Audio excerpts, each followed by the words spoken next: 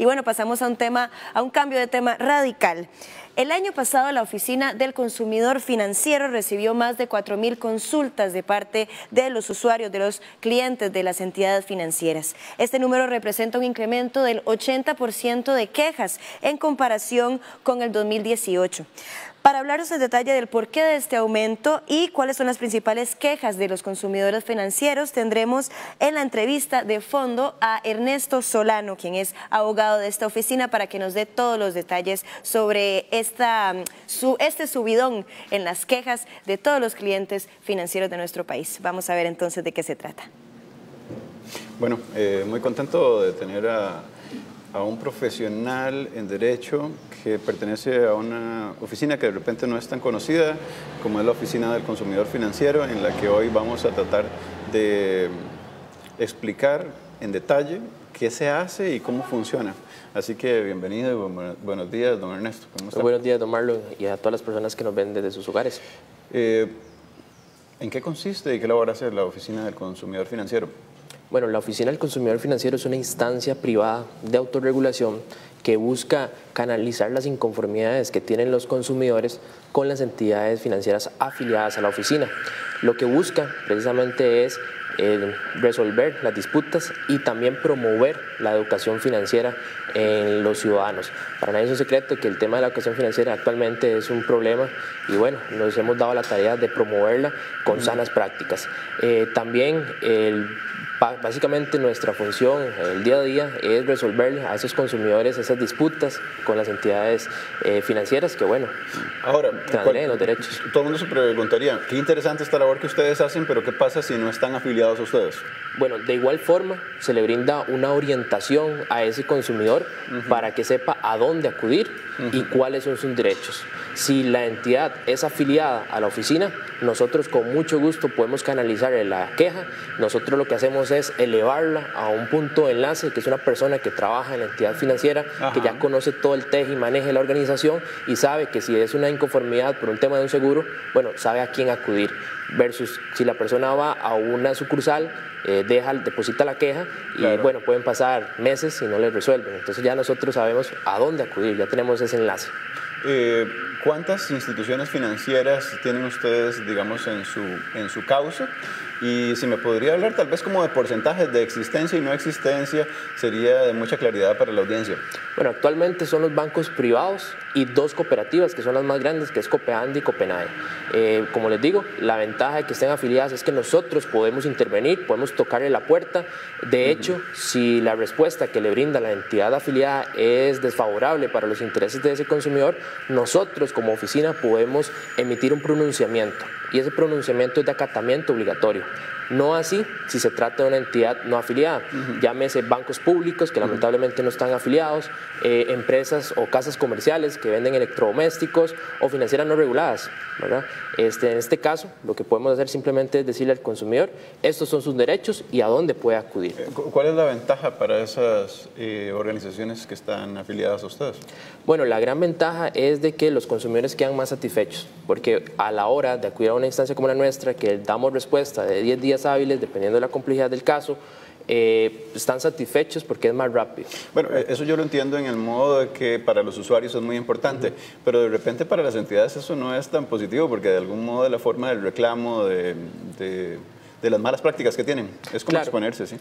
Bueno, la otra ventaja para las entidades afiliadas es de que el consumidor no va a ir a otra instancia, tal vez pública, como lo es el MAKE o la Agencia de Protección de Datos, que imponen multas. En este caso, nosotros lo que le podemos decir a una entidad es, usted hizo mal tal cosa, revérsele tal monto al consumidor, pero hasta ahí no le podemos decir, y tras de eso le impongo una multa. Eso es solamente una... O sea, ustedes tienen de algún modo, eh, la persona se acerca, ustedes hacen el estudio, después de que terminan si es una mala o una buena práctica, eh, inmediatamente lo hacen saber a la entidad y la entidad hace un proceso correctivo. Es, de alguna manera como un, un informe que no tiene una, una consecuencia de orden económico, pero sí tiene una satisfacción en el orden de lo que significa en este caso para los usuarios. Voy a poner un ejemplo. En el tema de las inconformidades, la entidad bancaria tiene la primera instancia. Entonces, la entidad bancaria, un ejemplo del caso de cobro de un seguro que la persona nunca autorizó. El típico caso, me están cobrando un seguro, yo nunca lo autoricé, he solicitado que me lo eliminen y no me lo quieren eliminar. Entonces, nosotros enviamos la inconformidad al punto de enlace, ellos investigan y dicen, bueno, sí, efectivamente, eh, el consumidor no firmó el contrato, le vamos a reversar el monto que le hemos cobrado y ya no se lo vamos a cobrar. o puede hacer de que la entidad diga, no, efectivamente el consumidor sí lo aceptó, aquí está la prueba. Entonces el consumidor dice, no, yo no estoy de acuerdo porque yo no me acuerdo haber firmado ese contrato o ese formulario. Entonces en este caso se convierte en un reclamo. Cuando se convierte en un reclamo formal, nosotros analizamos las pruebas y emitimos un pronunciamiento. Entonces, vamos a ver, de conformidad con las pruebas y los hechos, vamos a decir si efectivamente el consumidor tiene la razón o es la entidad bancaria la que tiene la razón. Ahora, eh, ahora vamos a referirnos al informe. ¿Cuáles son los tres hallazgos más importantes de ese informe?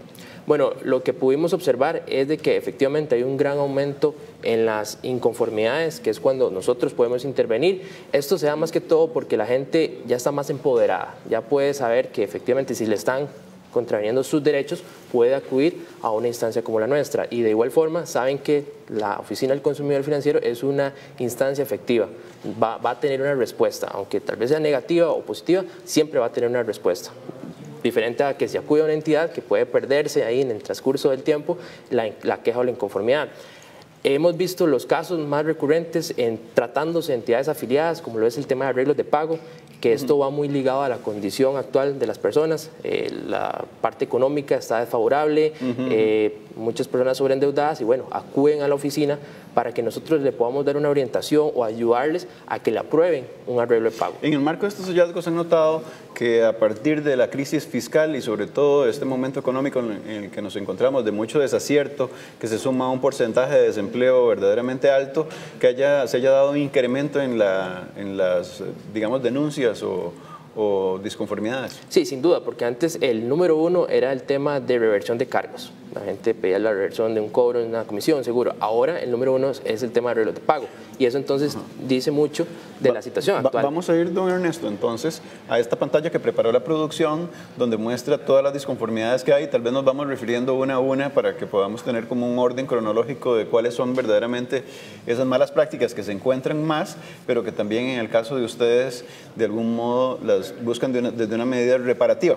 Lo, tenemos en pantalla. Si quiere, vamos una a una. Sí, eh, como bien ustedes lo ven, el tema de arreglos de pago es el número uno con 322. Aquí lo que comúnmente las personas eh, nos buscan es para que los orientemos de qué presentar ante la entidad afiliada, eh, qué documentos presentar, cómo plantearle el problema a la entidad Después tenemos el tema de reversión de cargos eh, y comisiones. La persona dice, no me explicaron que me están cobrando o me van a cobrar una comisión por pronto pago o la anualidad, que es muy común. Muy común, sí. Exactamente. Eh, tercer lugar está el tema del acoso, la gestión cobratoria. Aquí hago la diferencia. En tratándose de entidades afiliadas es el número tres, pero en temas de no afiliadas es el número uno. Y aquí la gran problemática es de que llaman a terceros o mandan mensajes a terceros cobrando una deuda. ¿A quién no les ha sucedido, don Ernesto, que lo llaman para ofrecerle una tarjeta de crédito, por ejemplo? Bueno, también cuando se trata de ofrecer productos, igual que la persona tal vez no quiere que lo ofrezcan y aún así, eh, pese a su voluntad, le mandan esa información.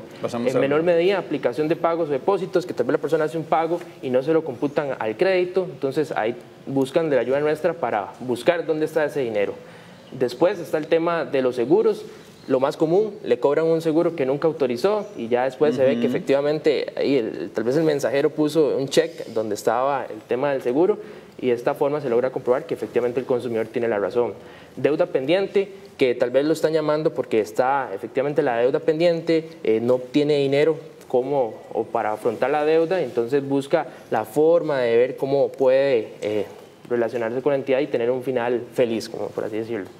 Y por último, el tema de los embargos y cobro judicial. La persona que nos llama y nos dice que tiene un embargo, le están embargando la totalidad del salario, o bien que tiene una pensión alimentaria, tiene dos embargos y aún así hay otro en la, en la fila y busca, va a ver cómo puede hacer para tratar de negociar extrajudicialmente. Y bueno, eh, es una gran cantidad, la verdad. Vea cómo, vea cómo eh, podríamos referirnos de algún modo a estos tres primeros como datos muy importantes en el marco de lo que significa eh, la disconformidad de parte de los usuarios.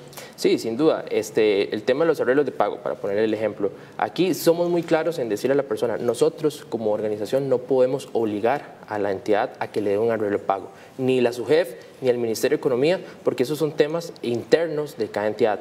Pero al menos le decimos a esa persona qué aportar, porque muchas personas nos buscan y Estamos nos dicen... hablando de 300, más de 300 casos. Claro, sin duda, y esto es pan de cada día. Personas que nos dicen, eh, tengo una pensión alimentaria, tengo un embargo, ya no sé qué hacer, me está llegando 5 mil colones al mes.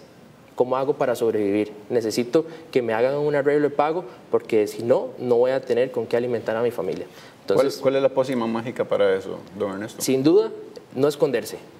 Acudir a la entidad financiera, si no lo reciben, acudir a nuestra oficina para nosotros ayudarle a canalizar esa solicitud, para decirle qué documentos presentar. Porque muchas personas dicen, estoy en una posición difícil, pero no pasan de ahí, no saben cómo demostrarlo. Nos referimos al segundo caso de importancia.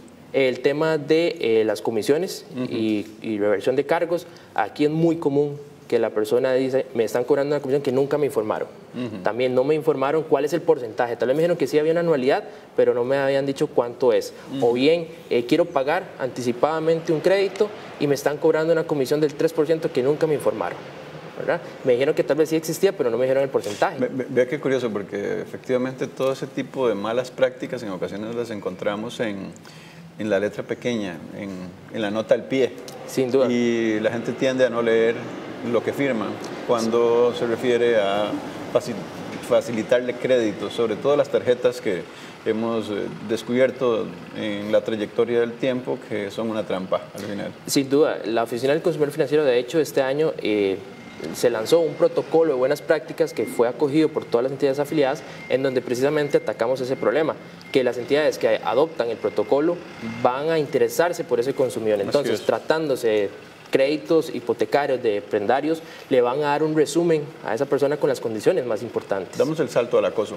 Al acoso, como les informaba anteriormente, es muy común que llamen a la persona deudora y se lo hagan de una forma acosadora lo llaman a las 5 de la mañana, lo llaman a las 10 de la, a las 10 de la noche, 7 eh, llamadas en la mañana, 7 llamadas en la tarde, bueno, y ya hay pronunciamientos del Ministerio de Economía, de los tribunales de justicia y la Agencia de Protección de Datos que dice que esto es ilegal.